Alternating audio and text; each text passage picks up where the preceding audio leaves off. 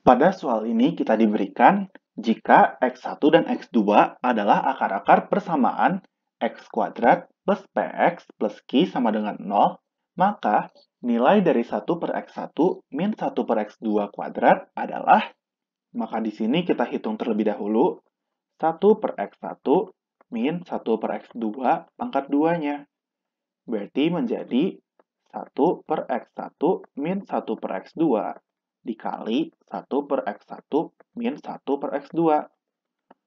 Maka jika dikalikan akan menjadi 1 per X1 kuadrat min 1 per X1 X2 min 1 per X1 X2 plus 1 per X2 kuadrat. Berarti di sini min 1 per X1 X2 dan min 1 per X1 X2 dapat kita jumlahkan menjadi 1 per X1 kuadrat min 2 per X1 X2 plus 1 per X2 kuadrat.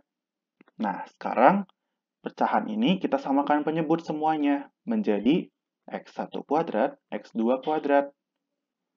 Berarti pembilangnya akan menjadi X2 kuadrat min 2X1 X2 plus X1 kuadrat.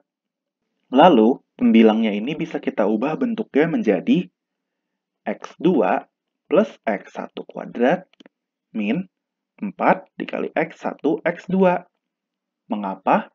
Karena X2 plus X1 kuadrat itu hasilnya X2 kuadrat plus 2X2 X1 plus X1 kuadrat. Berarti kalau hasilnya itu dikurang 4X1 X2 sama saja dengan X2 kuadrat min 2x1 x2 plus x1 kuadrat.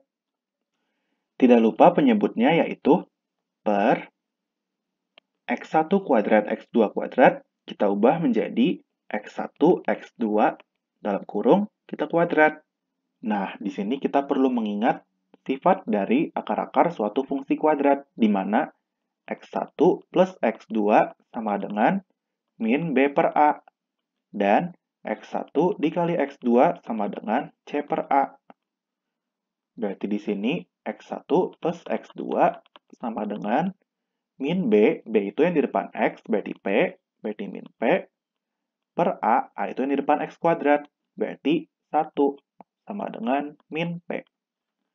Lalu yang ini X1 dikali X2 sama dengan C per A, berarti Q per A, A yang di depan X kuadrat, berarti 1.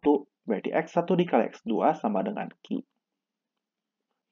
Maka kita sudah punya nilai X1 plus X2-nya, dan nilai X1 dikali X2, langsung saja kita masukkan ke persamaan yang telah kita bentuk.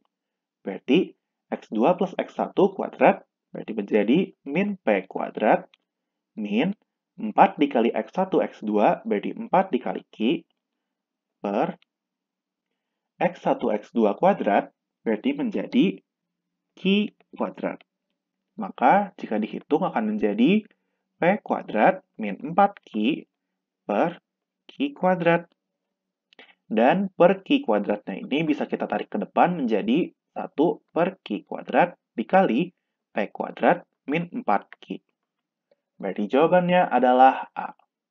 Sampai jumpa pada soal berikutnya.